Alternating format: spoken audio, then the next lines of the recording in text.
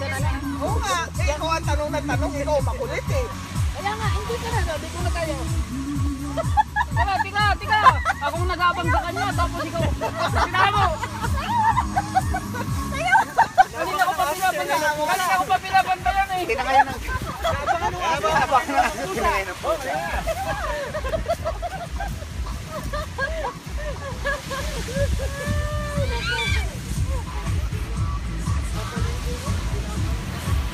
Inaabangan ng aso, kinakayan ng pusa.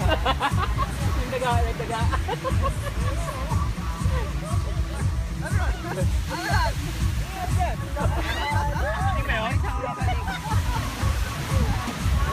Yan, mag, mag, magpadala ka sa ano.